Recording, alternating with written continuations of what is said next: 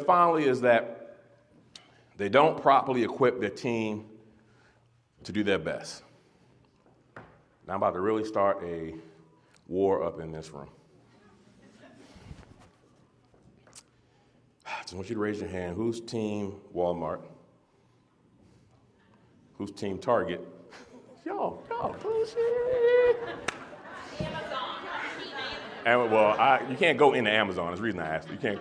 All right, so I was in Target, right? I was in y'all's store. I'm in Target, and I'm in the men's section. And in the men's section, I don't know if they have it in Walmart. I know in Target, in the men's section and in the women's section, I think they have carpet on the floor, right? So I'm in the men's section looking for some graphic tees, and I hear. I'm like, what is that?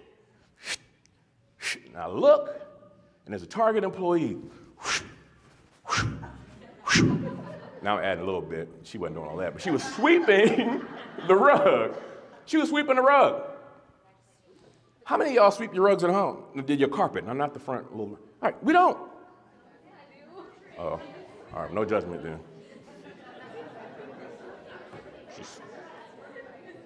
So no. Well, you know, I don't know if you know this thing, but there's this thing called a vacuum. Okay, there's this thing called the vacuum cleaner, right? That's really designed for carpets and rugs. I said rug, but I should say carpet. If your rugs are different, rugs are a little different. But anyway, she was sweeping the carpet. And I'm like, oh my gosh, why is she sweeping the carpet? Because she was sweeping her heart out. She was a hard employee. She was sweeping. I'm gonna get it, girl. She was sweeping. But I couldn't stop thinking, like, they have vacuums in aisle A32. Why are you not vacuuming the carpet? And it hit me that her bosses, while they had a dedicated employee, a hardworking employee, they were not properly equipping her with everything she needed to do her job at the top level. And what will happen when you don't equip your, your team, your, your people, with the, everything they need? You can't, on one side, one, one, one hand, not equip them, but then when it comes time for raises, promotions, evaluations, hold them accountable for what they couldn't do because you didn't give them the tools to do it. That's not good leadership. So that's got to be, you know, when you're talking about leading and the mistakes leaders make, is that you, you've got to fully equip your team with the things that they need. Now, here's the thing some things may be out of your control, okay? If you need a new, you know, accounting system, you can't just go and buy accounting system. I understand that.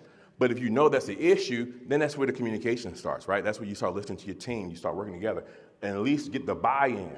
When they can trust, we go back to the trust because they hear you saying, "Look, I'm in this with y'all. I want a better system too." You know, but then when it comes time for evaluations, you have to take that into account and help them understand. I mean, you know, hold, you have to understand rather what limitations that they have. Everybody getting that? How many of you ready to go yell at your manager for making you sweep the carpet? Nobody. All right.